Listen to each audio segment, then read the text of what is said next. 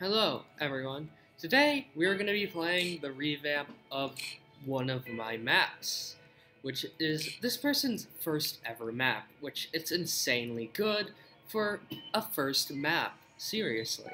This map has almost everything is basically original. Well, I mean, the, the map itself is a revamp, and, well, there's no stolen stuff this time.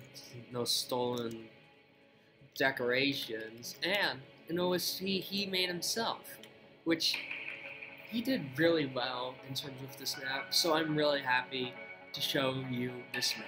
You need to play this map right now. It is really good. I'll, however, enough talking. I'll let the gameplay speak for itself.